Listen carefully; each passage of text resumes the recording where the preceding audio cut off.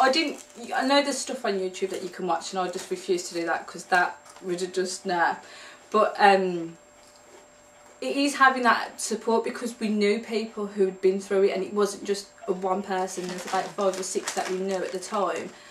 You can't you can't really see Carl Scar anymore. Okay. It's just behind. It's just got a it's got a fine silver line behind his ear, which obviously his processor covers. Right.